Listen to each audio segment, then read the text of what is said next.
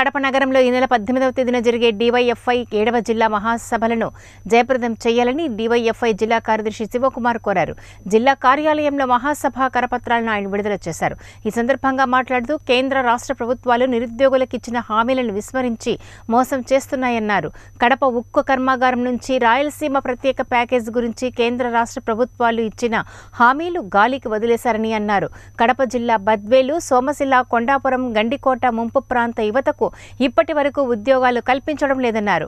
మహాసభలో ఉద్యమ ప్రణాళికను రూపొందించే ఉద్యమాలు చేపట్టనున్నట్లు ఆయన వెల్లడించారు.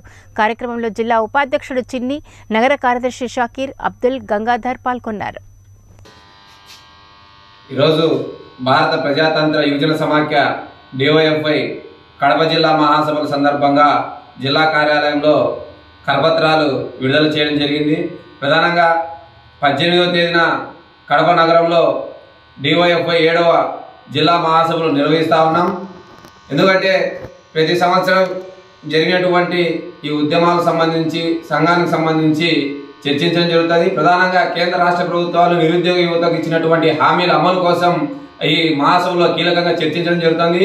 ఏదైతే కేంద్ర ప్రభుత్వం ఈ రాష్ట్రానికి ఈ జిల్లాకు అన్యాయం తీవ్ర స్థాయిలో చేయడం జరిగింది జరిగినటువంటి